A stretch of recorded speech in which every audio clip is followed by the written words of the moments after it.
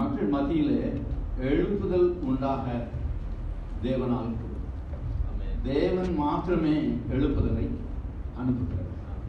எந்த ஒரு மனிதனும் சொந்த விருப்பத்தினாலேயோ பிரயாசத்தினாலேயோ திறமையினாலேயோ பலத்தினாலேயோ ஒரு நாளும் எழுப்புரை கொண்டு வர முடியாது. தேவனே எல்லாவற்றையும் படைத்திருக்கிறார். எல்லாவற்றையும் சொந்தக்காரர் எல்லாவற்றையும் நேர்த்தியாக நடத்துகிற தேவன். இதை அறிந்து கொண்ட யோபு பக்தன் இப்படியாக சொல்கிறார் தேவரீர் சகலத்தையும் செய்ய வல்லவர். நீ செய்ய நினைத்தது தடைபடாது. நம்ம இந்த ம- மாலை வேளையில எழுப்புதலை கொண்டு வரும்படியாக தேவன் நினைத்திருக்கிறார். யாரும் அதை தடுக்க முடியாது. நிச்சயமாக இந்த நாட்களில் தேவன் நம் ஒவ்வொருடைய இதயத்திலும் எழுப்புதலை கொண்டு வந்திருக்கிறார். கடைசி நாட்களில் தேவன் செய்கிறதை ஒருவரும் தடை செய்ய முடியாது என்று நம் ஒவ்வொருவரும் விசுவாசிப்போம். நிச்சயமாக தேவன் அந்த காரியத்தை நமக்கு செய்வார். இந்த காரியத்தை எந்த ஒரு மனிதன் ஏற்றுக்கொள்ள முடியாதபடி அல்லது அவருடைய பராக்கிரமான கரங்களில் அடங்கி இருக்க முடியாதபடி நான் நினைத்தது நடக்க வேண்டும் அல்லது நான் ஜெபித்தது தேவன் அப்படியே அவர் நான் நினைத்ததை அவர் எனக்கு செய்ய வேண்டும் என்று ஒரு மனிதன் பிடிவாதமாக இருக்கும்போது இந்த எழுப்புதல் அணைந்து போகும். நாம் அப்படிப்பட்டவர்களாக இல்லாதபடி தேவனுடைய வழிநடத்தலுக்கும் அவர் எப்படி என்னை உபயோகப்படுத்துகிறாரோ அதற்கு நான் என்னை ஒப்பு கொடுக்கும்போது தேவன் பெரிய காரியங்களை செய்கிறார். ஒவ்வொருடைய ஜீவித்திலும் தேவன் ஒவ்வொரு நோக்கத்தை வைத்திருக்கிறார். நோக்கம் இல்லாமல் நம்மை முன்குறிக்கவில்லை. நோக்கம் இல்லாமல் நம்மை அழைக்கவில்லை. நோக்கம் இல்லாமல் நம்மை மேன்மைப்படுத்தவில்லை. அவர் தேவன் ஒவ்வொன்றுக்கும் ஒரு நோக்கம் வைத்துதான் நம்மை நம்மை பேர் சொல்லி அழைத்திருக்கிறார். நம்முடைய தாயின் கருவுக்கு முன்பதாகவே நம்ம உருவேற்படும் முன்பதாகவே தேவன் அறிந்திருக்கிற தேவன் நம்மை அழைத்திருக்கிறவர். அவர் உண்மை உள்ளவராக இருக்கிறார். நம்மில் எழுப்புதலை அனுப்பும்படியாக தேவன் உண்மை உள்ளவராக இருக்கிறார். நாம் அந்த அந்த காரியத்தை எப்பொழுது பெற்றுக்கொள்ள முடியும்? என்று நாம் சிந்தித்து பார்ப்போமானால் வேதத்துல தேவன் யார் மூலமாக எழுப்புதலை கொண்டு வந்திருக்கிறார்?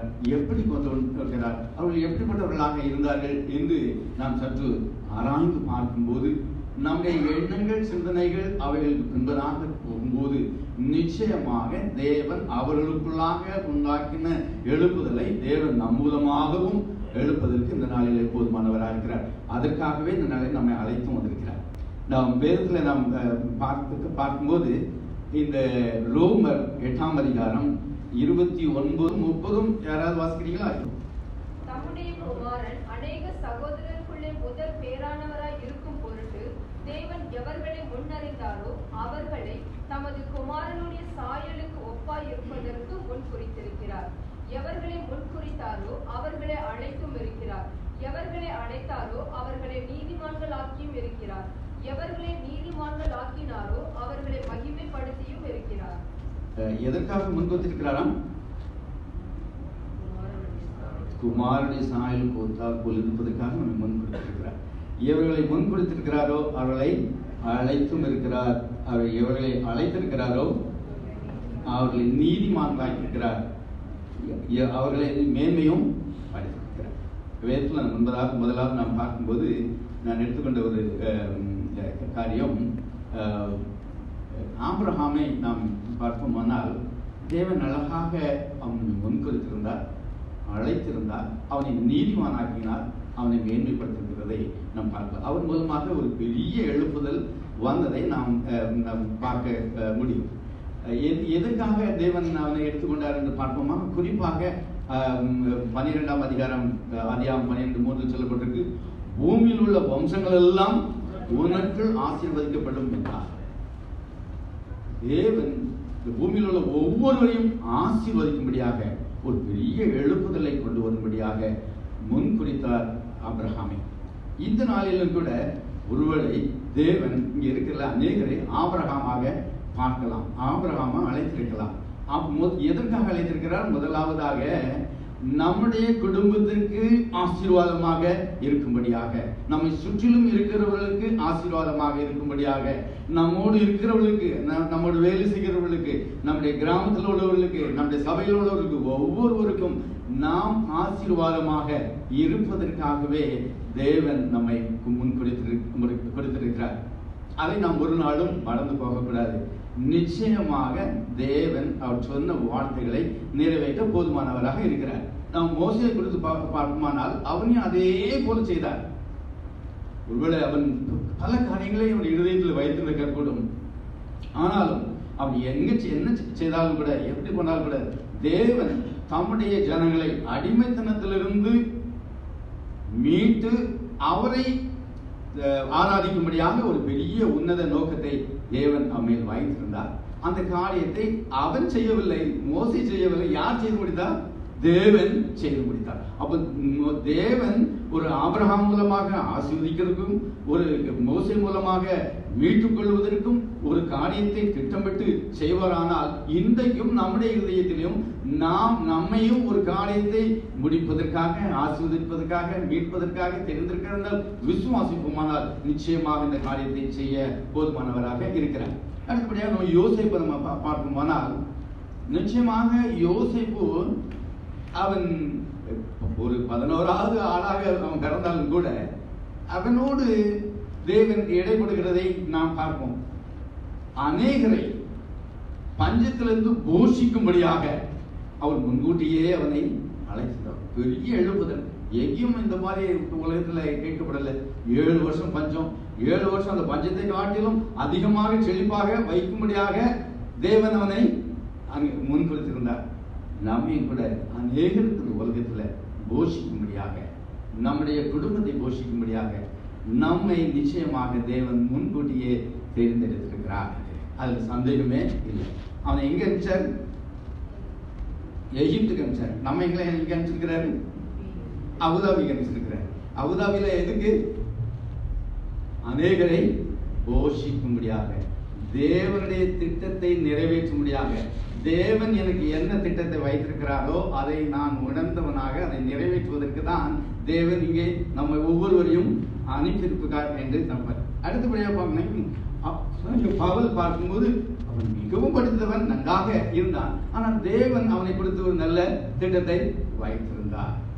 தேவனுடைய ரகசியங்களை அறிந்து கொண்டு எல்லா மக்களுக்கும் தேவனுடைய ரச ரகசியத்தை சொல்லும்படியாக கிறிஸ்துவுக்கு உள்ளாக வ- வரவழைக்கும்படியாக ஒரு பெரிய திட்டத்தை வைத்திருந்தார்.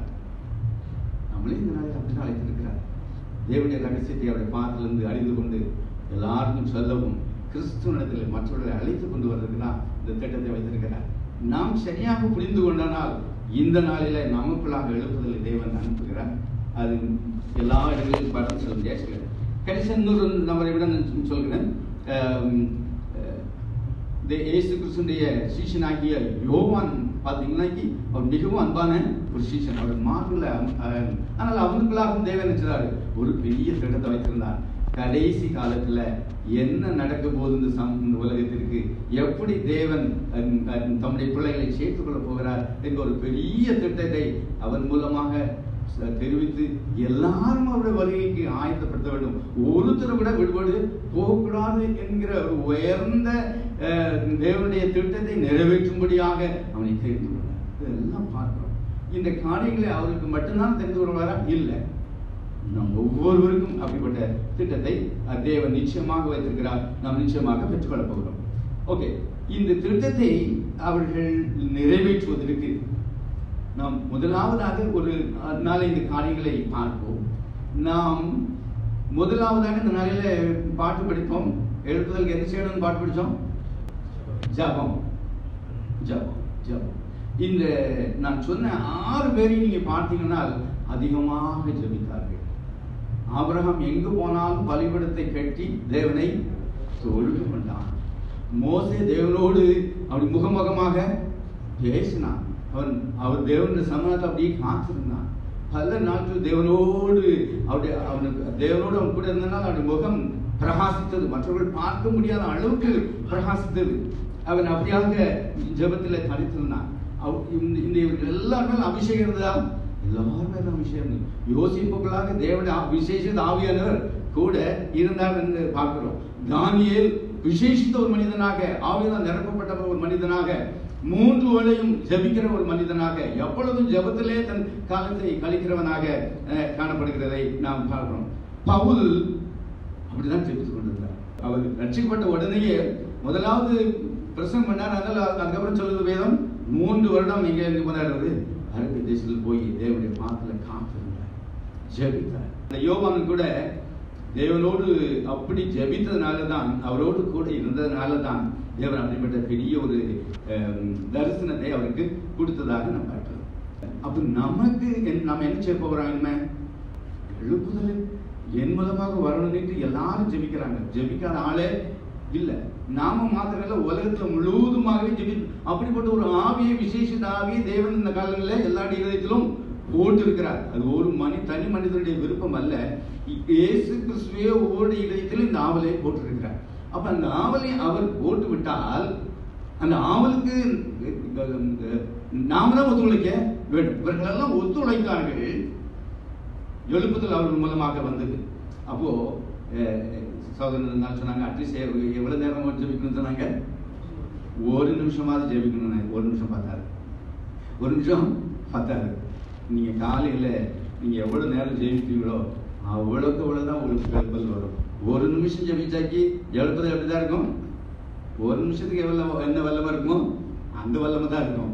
ஆனால் எவ்வளோ நேரம் மோசிட்ட முகம் எப்போ பிரகாசிச்சது?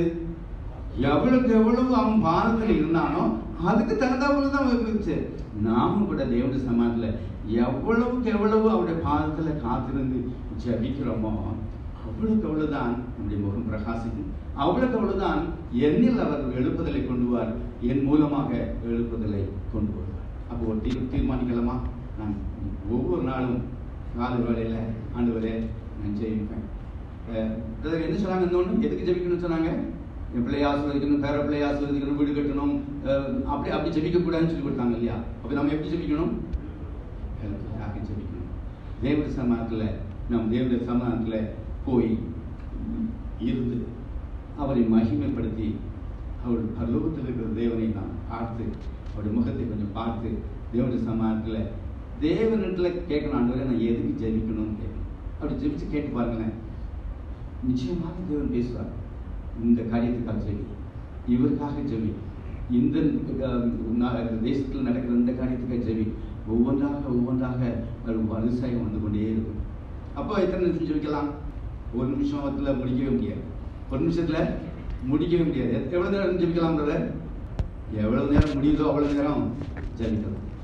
அதனால் நான் பெரிய வசித்தவன் சொல்ல வரல. அப்படி ஜெபித்திருக்கும் போது என்னவும் வரும். தூக்கமும் வரும்.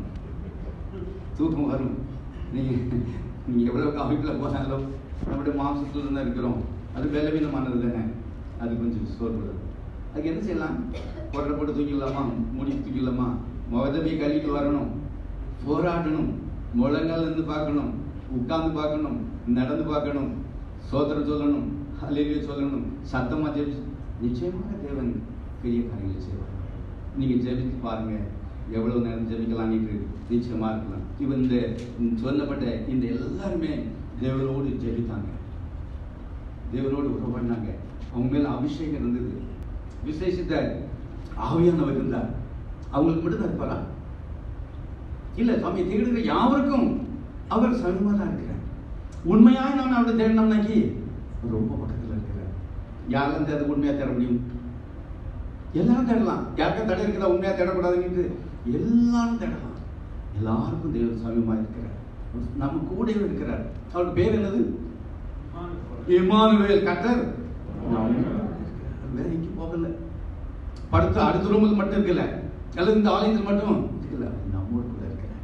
நம் நிச்சயமா அந்த காரியத்தை நம்மால் செய்ய முடியும். நிச்சயமாக நம் மூலமாக எழுப்புதலை தேவன் பெரிய காரியங்களை செய்வார். அடுத்தபடியாக இந்த நபர்கள்ட்ட ஒரு காரியம் நம்ம பார்க்கலாம். எல்லாருமே உடனே பெரிய எழுப்புதலாக கொண்டு வந்தாங்களா? அப்படி வரவே இல்லை. எவ்வளவு நாள் ஆபிரகாம் காத்திருக்க வேண்டியிருந்தது? நிறைய நாள் காட்டிருந்தது அதுக்கு இடையில எவ்வளவோ கஷ்டங்கள் வந்தது. மோசையும் எடுத்தெடுப்புல போயிட்டு முப்பது ஜனங்களையும் நடத்திட்டு போகல. ரொம்ப கஷ்டப்பட்டாரு. பயங்கரமான கஷ்டப்பட்டாரு. ராஜாவா இருக்கிற மனுஷன் ஆரம்பிச்சாரு. யோசிப்பு பாத்தீங்கன்னாக்கி அவன் எகிப்துக்கு அடுத்த ஸ்தானத்துல இருந்து போ- போகிறதுக்கு அவன் பட்ட கஷ்டங்கள் யாருமே படல. அவ்வளவு கஷ்டங்கள் அவர் பட்டாரு. நம்ம தானியல் அப்படியே சிங்க நேரம் அதுக்கு போயிட்டு சிங்கக்கு வாங்கல கட்டுறதுக்கு பண்ணாரா? இல்ல. அவர் அடிமையாக கொண்டு போகப்பட்டார் அந்த தேசத்துக்கு. அங்க பல காரியங்கள் பல முதலாவது கொலை பண்ண முடியாத யாருக்கு தான் சதி திட்டினாங்க? இந்த தானியலை கொலை பண்ணுவதாக அவங்க மத்தியமாக கேட்டாங்க இது என்ன பண்ணிட்டு எனக்கு சொல்ல தெரியல யாருக்கும் சொல்ல தெரியல எப்படியா சொல்ல முடியும் அப்படின்னு இருந்தாங்க. ஆனா கொலை செய்யறதுக்கு வகை தேட்டது யாரு? யார? தானியல. அவ்வளவு கஷ்டங்கள் இருந்தது. செங்க குப்பியில கொண்டு போட்டாங்க. ஆனாலும் அவனை ஒரு நாளும் யாரும் அசைக்க முடியவில்லை. இல்லையா? அசைக்க முடிந்ததா? இல்லை. பல பாடுகளை பட்டாங்க. பவுல் உடனே தேவடைய ரகசியத்தை தெரிந்து கொண்டாரா? இல்லை. அவரும் பாடுகள் ஜெயிலுக்கு போனார். பசியில் இருந்தார். பட்னியாக கிடந்தார். அடிக்கப்பட்டார். துன்பப்படுத்தப்பட்டார். பல காரியங்களை செய்தார். ஆனாலும் அவர் அவர்கள் மத்தியிலும் தேவன் உயர்த்தினதை நாம் பார்க்கணும் இந்த யோவான் அவருடைய மார்பில் சாய்ந்து அன்பா இருந்த சீசன் கூட அப்படியே இருந்தாரா? நமக்கு எல்லாத்துக்கும் தெரியும். அப்போ நிச்சயமாக எழுப்புதல் நம் மூலமாக தேவன் செய்ய வேண்டுமானால் எதனுடைய தான் நாம் போக வேண்டும்? பாடுவனுடைய நாம் போக வேண்டும். அதை தைரியமாக சந்திப்பதற்கு தேவ பலன் நம்மோடு இருக்கும். அவர் நம் நம் நீ ஒத்தையில் போன்னு சொல்றதே இல்லை நம்மோடு கூட இருக்கிறார் தாவிதோடு இருந்த தேவன் மோசையோடு இருந்த தேவன் யோசிப்போடு இருந்த தேவன் நம்மோடு கூட இருக்கிறார் அவளுக்கு போனாலும் அவனோடு கூட இருந்த தேவன் யோவானை தைரியப்படுத்தின தேவன் காலில் ஊன்றி நிற்க பண்ண தேவன் நம்மோடு இருக்கிறார் நிச்சயமாக நமக்கும் அவர் எழுப்புதலை நம் மூலமாக செய்ய இந்த நாளில் போதுமானவராக இருக்கிறார். அடுத்த ஒரு காரியம் அவரிடத்தில் பார்த்தது சுயம சுயநலம் இல்லாதவர்களாக இருந்தார்கள். தேவன் தேவன் நம்மிடத்து நம் மூலமாக எழுப்புதலை செய்ய வேண்டுமானால் சுயநலத்தோடு தேவன் ஒரு நாளும் எழுப்புதலை நம்முடைய போட முடியாது. நாம் எழுப்புதலுக்கு ஆதாரமாக இருக்கவும் முடியாது. சுயநலத்தை இவர்கள் வெறுத்தவர்களாக காணப்பட்டார்கள். என்ன சுயநலத்தை அப்படி அப்ரஹாம் தர் ஒரு கருத்துன்னு சொல்கிறேன் அவருக்கு பிள்ளை இல்லை ஆனா அபிலருக்கு அவர் ஜெயித்தார் அவனுக்கு குழந்தை பிறகுக்காண்டி அவர் ஜெயித்தார பார்க்கணும். யோசிப்பு தான் ஜெயிலில் கிடக்கிறாரு.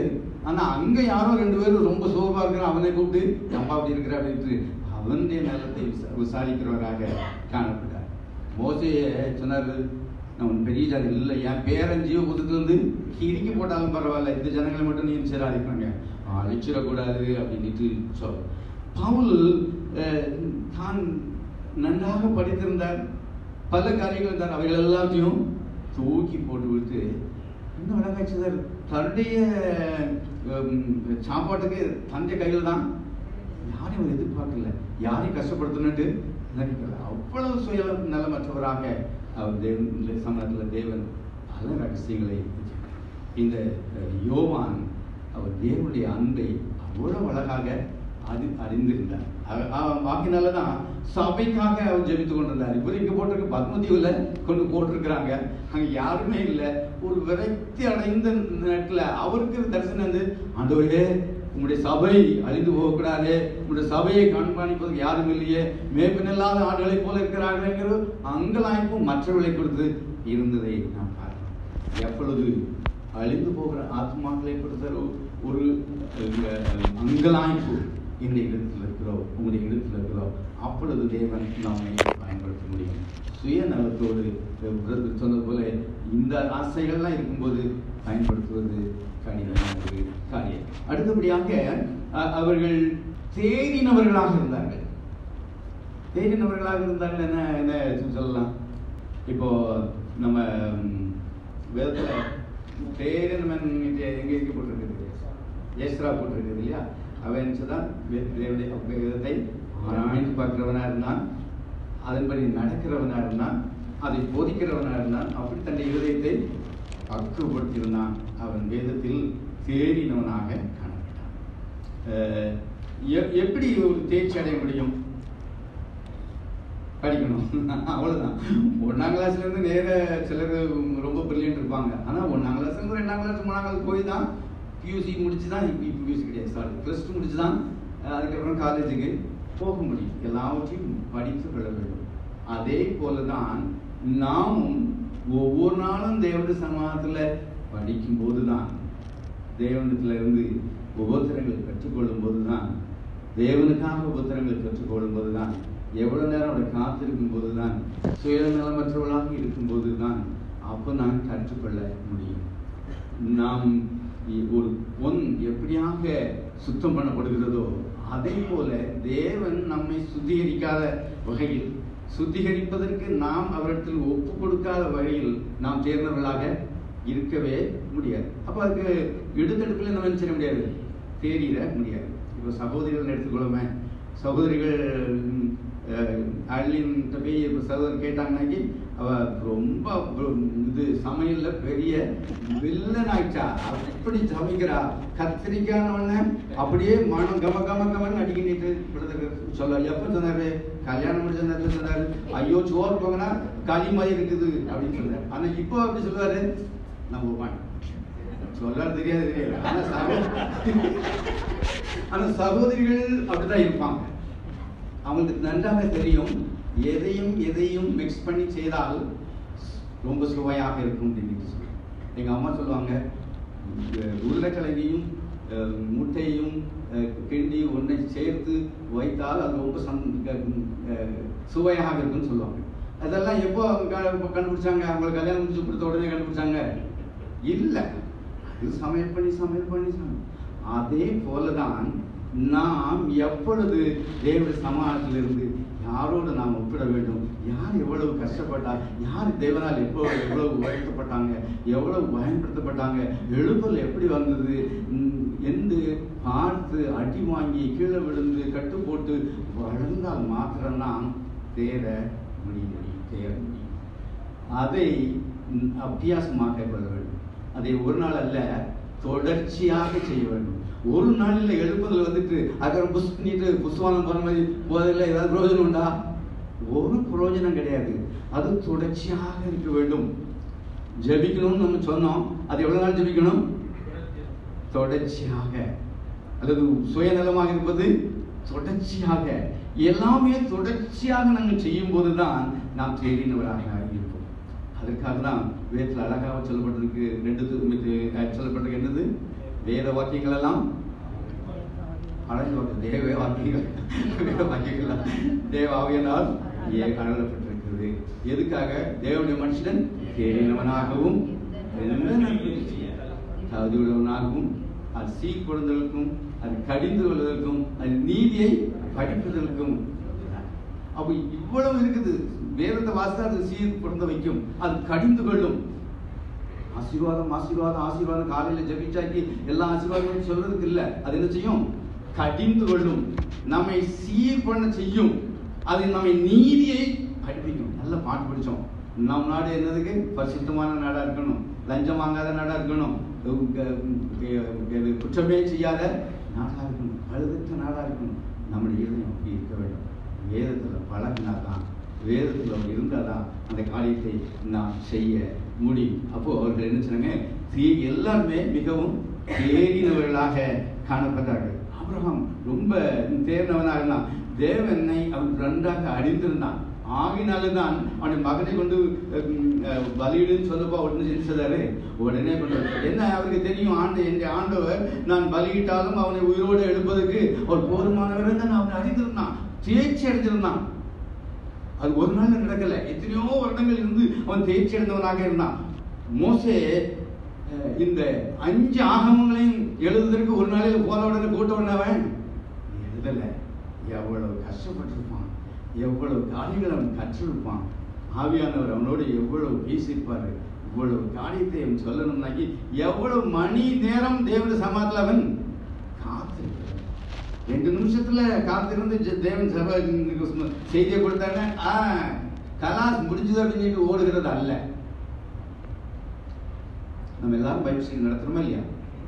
எவ்வளோ நேரம் ப்ரிப்பேர் பண்ணுறோம் ஒவ்வொருத்தரும் அவங்கள அவங்களே நம்ம கேட்டுக்கொள்வோம். ஆனால் மோசையை போல இருந்தால் தான் ஒரு ஆகமத்தை செய்ய முடியும். எழுப்புகளை கொண்டு வர முடியும். தேவன் நம்மை உபயோகப்படுத்த முடியும். அடுத்த அடுத்தபடியாக தேவனையே சார்ந்திருந்தாங்க எல்லாத்துக்கும் தேவனை தான் சார்ந்திருந்தாங்க சுயமாக அவர்கள் ஒன்றுமே செய்யவே இல்லை. அப்போ பவுல் முதல்ல சும்மா சுயமாக பல காரியங்களை செய்தார். ஆனால் அதுக்கப்புறம் பார்த்தீங்கன்னா தேவன் எங்கே விழித்து போய் சொன்னாரோ அங்கே தான் போனார். எங்கே இருக்க சொன்னாரோ அங்கே தான் சொன்னார். போ தைரியமாக போ. நம்ம தீர்க்கதரிசிகளாம் சொன்னாங்க நீ அங்கே போனதுக்கு உனக்கு நினச்சிருக்கு கட்டு இருக்குது அப்படி இருக்குது இப்படி இருக்குன்னாங்க. அதெல்லாம் கவலைப்படவே இல்லை. ஏன்னா அவன் தேவனை நான் யார் இந்த இந்த தீர்க்கதரிசிகளை நம்பியா அந்த ஒழித்துக்கு நான் இல்லை அவன் தேவன் அழைத்தார். தேவனை அவன் சார்ந்திருந்தான்.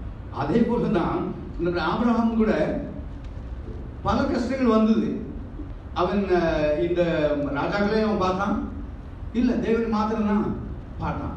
ஒரு சமயத்தில் அந்த பூமி அவங்க இருக்கிற இடம் கூட அவங்களுக்கு தாங்க முடியாமல் போயிடுச்சு யாருக்கெல்லாம் லோத்துடைய இருக்கு ஆனால் தே- அவன் நினைச்சுனா லோத்தை பார்த்து நீ எங்கே நீ எங்கேயோ நீ மேக்க போனால் நான் கிழக்கு போறவா நீ கிழக்கு போனால் நான் மேக்க போறேன்னு. அவனுக்கு நல்லா தெரிஞ்சது இந்த யோர்தான் நதி கடையில் இருக்க பச்சை பாத்தாக்கி அங்கே போய் அவன் யாரை சார்ந்திருந்தான்? அந்த பச்சையை சார்ந்திருந்தான். ஆசீர்வாதத்தை சார்ந்திருந்தான். அவன் ஆபிரகாம் தேவனை சார்ந்திருந்ததுனால நீ எங்கே வேணாலும் போப்பா. நான் வந்து இந்த இந்த யோர்தானு சார்ந்து இல்லை. இந்த யோர்தான் என்னை கூப்பிட்டு நான் வரல. நான் வந்தது தேவன் தேவனை நான் சார்ந்து இருப்பேன் ஆகினால தான் அவன் ஒரு வீடு கூட கட்டல. பரதேசின்னு சொல்லி கொடுத்துருந்தான். இல்லையா? ஆ? தேவன் கட்டுற வீட்டை பார்த்து கொண்டு வந்தான் சார்ந்திருந்தான் தேவன் மாத்திரம் சார்ந்திருந்ததை பார்க்கலாம். மோசி அப்படிதான் இருந்தார். மோசே மறுத்த போது அவரை தூக்கிட்டு கொண்டு போயிட்டு அடக்கம் பண்ணது கூட யாரு? அவனுக்கு யாருமே இல்லை. முழுவதும் தேவனை தான் முழுவதும் சார்ந்திருந்தான் இவ்வளவு ஜனங்களை நடத்தி கொண்டு போனான். ஆனால் ஒரு நாளும் அவன் யாரையும் எதையும் நம்பல. இவ்வளவு பேருக்கு யாராவது சாப்பாடு போட முடியுமா? யாரையும் நடத்த முடியுமா? அவன் முழுவதும் தேவனை சார்ந்ததான் அவர் அழைத்தவர் உண்மை உள்ளவர் அவர் நடத்தி கொண்டு போக சொன்னார். நான் போகிறேன் அனுசாரம்னு சொன்னார். யோசிப்பா அப்படிதான் இருந்தார். அப்படி இருந்தனால தான் அவர் தைரியமாக சொன்னார் இந்த பார்வோன் நம்மளை போஷிப்பார் அவர் கூடல இந்த பஞ்சம் அப்படின்னு சொல்லி முன்கூட்டியே ஜீவரட்சணியம் கிடைக்கும்படியாக தேவன் என்னை முன்கூட்டியே அனுப்பியிருக்கிறார் தேவன் நான் தேவன் தான் பார்த்தான். பார்வனை இந்த நாளிலும் எழுப்புதலை தாங்க தாங்க ஆண்டவரே ஊற்றுங்க ஆண்டவரே நீ ஜெபிக்கிற நான் யாரை மாத்திரம் தான் பார்க்கணும்? தேவனை மாத்திரம். சுற்றுலும் சூழ்நிலையில் பார்த்தோமானால் நம்முடைய காரியங்களை பார்த்தோமானால் அது ஒரு நாள் கை கொடுத்தது எல்லாவற்றையும் படைத்த எல்லாவற்றையும் ஆளுகிற எல்லாவற்றையும் போஷிக்கிற தேவனை பார்க்கும்போது நிச்சயமாக பெரிய காரியங்களை தேவன் செய்வார். ஆகினால்தான் அவன் எல்லாருக்கும் அவருக்கு அவனுக்கு மட்டும் அவன் வீடார் மட்டும் அவன் போஷிச்சான்? இல்லை. எல்லாரையும் போஷிக்கும்படியாக தேவன் அவனுக்கு உதவி செய்தார். எழுப்புதல் அப்படி போடுவோம். எழுப்பதில் மூலமாக தேவன் உண்டாக்கினதை நாம் பார்க்கிறோம். தியானியிலும் அதே தான் கண்ணெல்லாம் பார்க்கவே இல்லை. எழுபது வருஷம் ஆயிடுச்சு ஆண்டவரே நீங்க சொன்ன வசனம் நிறைவேறட்டுன்னு தான் அவன் உபவாசித்து ஜெபித்தான் அவன் இந்த கோரேஸ் பாப்பாரு அல்லது அந்த ராஜா பாப்பாருன்னுட்டு பார்க்கல. தேவனுடைய வசனத்தை தான் பார்ப்பான் நாமும் தேவனை சார்ந்து கொள்கிறேன் தேவன் வச வசனத்தை சார்ந்து கொள்ளும் போது இதை விசுவாசிக்கும் போது இதன் மேல் நம்பிக்கை இருக்கும்போது நிச்சயமாக இந்த நாளில் எழுப்புதலை தேவன் கட்டடத்திற்கு போதுமானவர் இருக்கிற நம்ம ஒவ்வொருவர் மேலும் இருக்கார் அதே போல் நம்ம பவுல் எடுத்துக்கொண்டாலும் அதே போல தான். பல காரியங்களை பட்டான் இப்போ இந்த கப்பல் ஓடிச்சது ஆடிச்சது அந்த இவர் எப்படி போறாரு? கைதியா போகிறார். இந்த மாலுமியை நம்பி அவர் போகல. தேவன் என்னோடு கூட வருகிறார் என்கிறது தேவன் சார்ந்தவன் போனான் ஆகையினால தான் அவ்வளவு காலைகளிலும் எல்லாரும் மறிக்கிற போகிற சமயத்தில் அவன் சொன்னான் மறிக்கிறது இல்லை என தேவன் அவனோடு கூட இருக்கிறதை பார்த்தான் அவன் மாலுமியை சார்ந்தல்ல தேவனை சார்ந்தனால் எல்லாரையும் கொண்டு கலை செய்தான். எல்லாருக்கும் தேவனுடைய ரகசியத்தை சொன்னான். அவன் இந்த காலத்தில் எப்படி இருந்தாலும் தேவனை மாத்திரம் சார்ந்தது காரணம் யோவானும் அதே தான் தேவனை அவன் சார்ந்து இருந்ததுனால தான். இவர் பாடே ரொம்ப பாடாக இருந்தது. ஆனால் இயேசு சொன்னார் இதோ உன் மகன் இதோ உன் தாய் என்று ரெண்டு பேரும் சொல்லும்போது சந்தோஷமாக ஏற்றுக்கொண்டார். இவருக்கு தப்பு இல்லை ஆனால் அவர் ஏற்றுக்கொள்ளும் போது அவர் எத்தனை எதனால அவர் தைரியமாக எடுத்துக்கொண்டாரு நமக்கு தெரியும். நான் என்னோடு இருந்த இயேசு கிறிஸ்து சர்வ அவர் எனக்கு அறிமுகப்படுத்தின பிதா எல்லாவற்றும் சொந்தக்காரர். ஆகினால தான் அப்படி அவனை சார்ந்திருந்தனால தான் தேவன் என்ன செய்ய போறாருங்கிறத தரிசனத்தை தேவன் இந்த நாளிலும் எழுந்திருந்து ஒரு நிமிஷம் நம்ம தேவ சமானத்தில் நம்ம ஒப்பு கொடுப்போம் மலை வழியில் ஆண்டவரே நான் இவர்களுக்குள்ளாக எழுப்புதலை அனுப்பின தேவன் இந்த நாளில் ஜீவனுள்ள தேவனாக இருக்கிறேன். இந்த நாளில் எனக்குள்ளாக அந்த எழுப்புதலை அனுப்புவதற்கு நீங்க போதுமானவராக இருக்கிறீர்கள். ஆண்டவரே அவளுக்குள்ளாக இந்த குணாதிசயங்களை நாங்கள் கற்றுக்கொண்டவர்களுக்காக நான் நீங்கள் எதிர்பார்க்கிற இந்த காரியத்தை சுயநலமற்றவர்களாக நாங்கள் எப்பொழுதும் உண்மை சார்ந்து கொள்ளவும் நாங்கள் தேடினவர்களாக இருக்கத்தக்கதாக எப்பொழுதும் ஜெபத்திலே தரித்திருக்கிறதற்காக ஆண்டவர் நீங்கள் எங்களுக்கு கிருபை செய்திருப்பதற்காக நன்றி. ஒப்- நான் ஒப்பு கொடுத்த ஒவ்வொருவரையும் நீங்கள் எழுப்புதலுக்கு நீங்கள் உபயோகிப்பதற்காக நன்றி சொல்கிறோம் ஏசு கிறிஸ்துவின் நல்லதாக